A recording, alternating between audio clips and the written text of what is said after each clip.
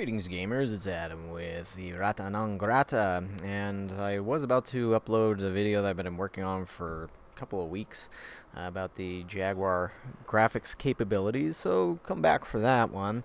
But we've got some Atari news to discuss here right now. As you can see on here, you might have already heard about, is Atari has announced the Atari 2600 Plus.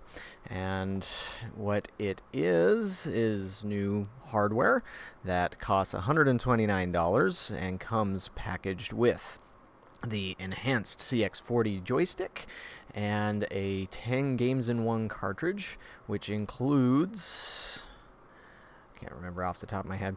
Uh, Adventure, Combat, Dodge'em, Haunted House, Maze Craze, Missile Command, Real Sports, Volleyball, Surround, Video Pinball, and Yars' Revenge. And so, what this new console or re-release of a classic console does is it will play original Atari 2600 and 7800 cartridges on this. And it has an HDMI out. It looks like has it has a little LED uh, light behind the Atari logo there which some people told me was the reason to buy an Atari VCS um, and so uh, I guess that's a reason to buy this one too right? Um, but yeah, comes uh, like this is essentially the flashback, the evolution of the flashback. As I recall, back in the day when the Flashback 2 and the Flashback 2 Plus came along, the motherboard had a space where you could solder on an Atari 2600 cartridge connector and play games through that, but obviously required a bit of hacking modification. I almost did it, but then I looked at the uh, Atari 2600 Heavy Sixer that I have, and I was like, yeah, I don't want to destroy that, even though it wasn't in great condition to begin with. But uh, uh, as I recall, the reason they didn't include the cartridge port on it at the time was concerns about people buying one at Walmart and then putting an old Atari 2600 cartridge in it, it doesn't work, and then calling a complaint into Atari. But I guess at this point, they've decided that consumers are smart enough to understand that a 40 to 45 year old game cartridge might not work anymore, and so it's just use at your own risk sort of thing. But this does have HDMI out and widescreen support. It says the microprocessor is a Rockchip 3128 SoC. I'm not familiar with that. I don't follow uh, SoC stuff really. But uh, the dimensions, it's almost 11 inches by 7 inches by almost 3 inches. And so sound look it's definitely a little bit smaller than an original Atari 2600 maybe close to the Atari 2600 Junior and they have an FAQ here. Will this play Atari cartridges? Of course. And cartridges from the XP program. And how is it different from the original 2600? We've enhanced it where it plays both 2600, 7800. In, in essence, it's really an Atari 7800 plus, um, but in an Atari 2600 uh, package and HDMI, the widescreen mode, 80% of original size, and large cartridge socket reduces sticking. Oh, that's good because there were some uh, third-party companies like Tiger Vision where sometimes their cartridges just didn't, well, they were a snug fit and made it feel like you're going to bust your 2600, especially if you had a junior. Uh, and the Atari logo lights up when being played. And how's it different from the VCS? This plays the cartridges, the four switches, VCS's modern console, etc. And yes, it's smaller. Can I use the paddle, the CX40 and CX30 paddle controllers on original ones? Yes. And so it's all backwards compatible. And so as I noticed on the previous screen here, you can get a uh, CX30 paddle bundle where you get four games in one. I guess I'm a little surprised it's only four. I thought I'm pretty sure there's more, but maybe that's all that Atari has access to at this point. Um, so yeah, that would be forty dollars if that's what you're looking for. But if they're good and stable, like I, I still have some old paddle controllers, but usually when I've tried them, they're super super jittery, and I think I replaced the potentiometer in them once, and still was an issue.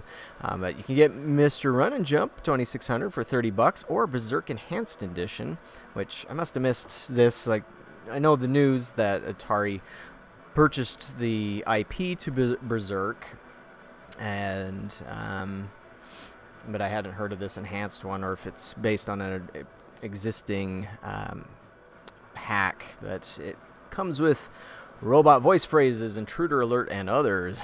as long as it has chicken fight like a robot, then I'll be happy. Uh, robots fire diagonally for more challenging gameplay. Oh, okay. So that was in the Atari 5200 port, but not on the 2600. New explosion animations, minor bug fixes from the original. Hmm. Interesting. I mean, I guess I would be almost tempted just to grab this just for my 2600. Uh, and of course has that old artwork. But this could be a great thing to include with your 2600 plus. Before I go, I should mention something that I thought about afterwards is that um, I guess one criticism I could have of this is that it's too bad that the 10 and 1 games cartridge maybe does, doesn't include maybe 20 and like 10 of the others being Atari 7800 games. I mean, since it does support that, it would make sense for that to be offered. Or I guess if they had some kind of Atari 7800 XP thing going on, uh, I don't think anybody's done a port of Berserk to the 7800, but that would be nice as well. Maybe for an extra enhanced version or one that has a switch on it that could switch between 2600 and 7800. But yeah, just that is something that would make this more attractive to me, particularly for this included cartridges. If it included 7800 games, at least a couple. Uh, you know, it could have asteroids and centipede and um, I mean, Ninja Golf would be nice as well, but uh, maybe they could do that as a separate 10-1 uh, cartridge release, or the Fabulous 11. There was the when the 7800 came out, its launch lineup was called the Fabulous 11 because it was 11 titles, and so uh, I don't know if they could still do that now without it being super expensive because of licensing. Because like, I think Galaga was one of those, and Pole Position 2 was one of those as well. Um, but they could come up with 11 games that Atari still owns from there, I would think, but just wanted to throw that in. Will I get one? Well, I've been pretty vocal online before about the Atari VCS. I mean, I haven't talked about it much uh, since uh, I did one video about it, and of course, posts on Atari Age, but I've just kind of let it be whatever. Um, I, I was never one to be like I know some interpreted my post as attacking them for liking the VCS, but what I was trying to express was this I just didn't see the point. And so without some exclusive feature or games or something, uh, that it just didn't seem worth the price to me and some of the arguments used to try and make it seem more valuable than it was just were absurd. Like, oh, it's the only console with a browser on it. It's like, who cares? Uh, you know, nobody really cares. There's browsers on everything with a display these days, and I don't need one on my Switch uh, to better enjoy my Nintendo Switch. Um, but had the VCS come with a cartridge port, so I could play my uh, Atari 2600 and 7800 games, of which I have somewhere over 200 2600 cartridges. I have almost a full collection of the Atari 7800 as well, uh, at least from the commercial release library. Um, I mean, that would have made it more tempting. As far as this, I mean, I'm not sure. I mean, money's a little tight right now, so it's not something that I'm jumping on right away. But would I consider it? Yeah, yeah, I might end up pre-ordering it if the money situation improves here soon. I mean, it is a little bit pricey, 129 bucks uh, for that. But I mean, I have a 7800 and a 2600 Junior and a 2600 Heavy Sixer and a flashback too, uh, but none of them have HDMI. I've thought about getting the, I think it was the Hyperkin 77 before, uh, but I don't think that had 7800 support. And so with the videos where I've captured Atari 7800 games, I've had to use this.